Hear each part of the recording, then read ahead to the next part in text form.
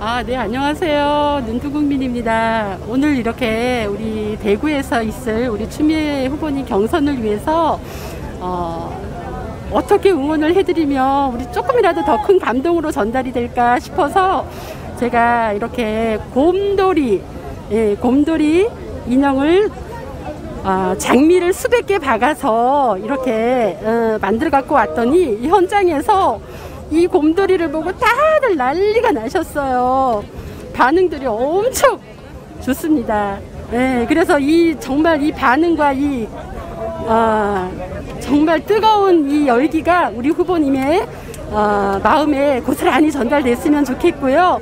이 곰돌이를 통해서 정말 오늘 이 대전, 대전에서 너무 멋진 경선 결과가 나왔으면 좋겠습니다.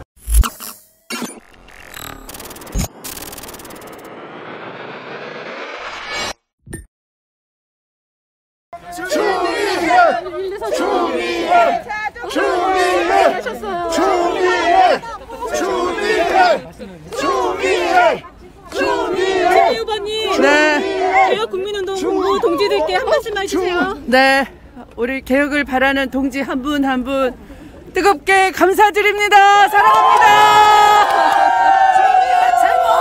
네, 자, 개혁의 개혁의 여세를 몰아서 추풍으로!